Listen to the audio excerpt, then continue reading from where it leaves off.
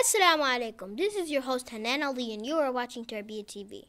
Today we bring you a very special edition of Tarbiyah News.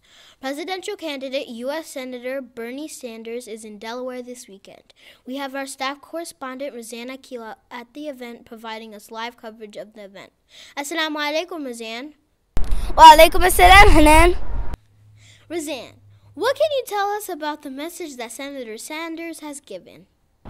Well, Hanaan, I am here in Wilmington where Senator Bernie Sanders has just finished his campaign rally to encourage Delawareans to vote for him on Tuesday, April 26th. Razane, can you tell us what's going on inside the arena? As you can see, I have Senator Bernie Sanders standing behind me talking to the people of Delaware. Again, American people will not support a candidate who insults Mexicans and Latinos,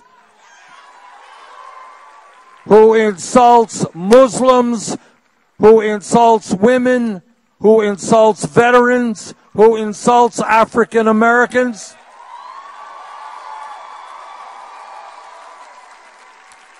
Most importantly, what the American people understand is what every great religion has always taught us, whether it is Christianity, Judaism, Islam, Buddhism, and that at the end of the day, love always trumps hatred.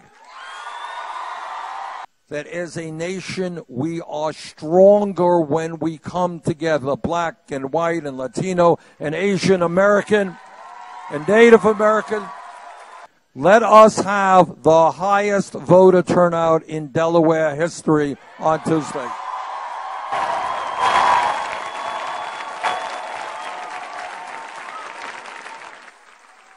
And let Delaware show the world that it is prepared to go forward in a political revolution. Thank you all very much. As you can see, the event has finished, and Senator Bernie Sanders has asked everyone to go vote on Tuesday, so please make sure you go vote on Tuesday, April 26th. Thank you, Razane. We have Brother Jamil Tourk, President of the Delaware Council on Global and Muslim Affairs, to give us his perspective. Assalamu alaikum, Brother Jamil. Wa alaikum assalam wa rahmatullahi wa barakatuh. What do you think about voting in elections? Hanaan, democracy is not a spectator's game. You can't just sit and watch democracy unfold. You have to be part of the process, and for that, you must vote. As president of Delaware Council on Global and Muslim Affairs, and as a voter registration coordinator, we started the voter registration campaign a few weeks ago. We have already registered a lot of members of our community, and we will continue to do so until every eligible member in the community has been registered to vote. I would like to urge your viewers to contact me so I can help them register to vote. I'm not 18 yet, but when I become eligible, I will vote in elections. For now, those who can't vote, I will not ask you to vote for a certain person or party.